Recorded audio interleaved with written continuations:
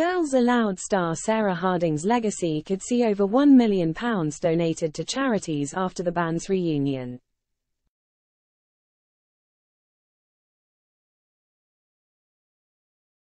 The singer died from breast cancer in 2021, aged 39.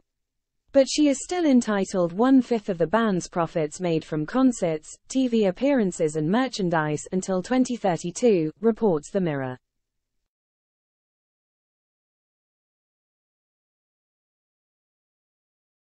Sarah's portion of the money will from the reunion, which is said to include a new single and tour, will go to her estate. This is then set to be donated to charitable causes, including the Sarah Harding Breast Cancer Appeal, launched by the Christie Charity.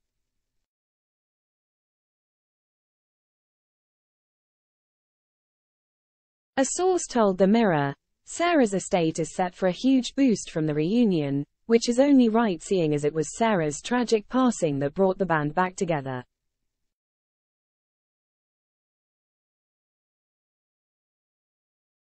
The existing deal, registered with the Intellectual Property Office, protects one-fifth of her profits on all Girls Aloud goods until 2032.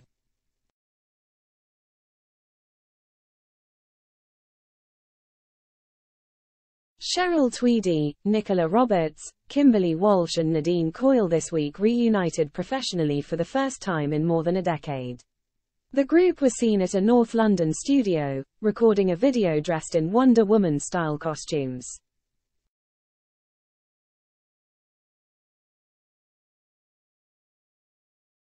Girls Aloud split in March 2013 after a 10th anniversary tour, two number one albums and 21 top 10 singles.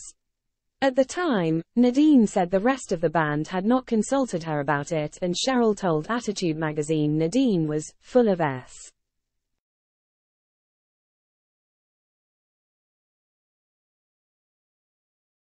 Sarah's cancer diagnosis three years ago is said to have put things into perspective for the band. Since her death, the stars have raised more than £1.2 million in her name.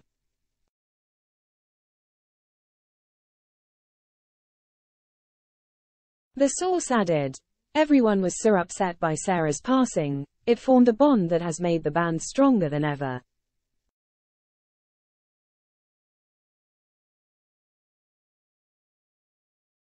Sarah was diagnosed with advanced breast cancer after finding a lump in 2020 and being reluctant to seek treatment. A mastectomy and chemotherapy failed to halt the disease.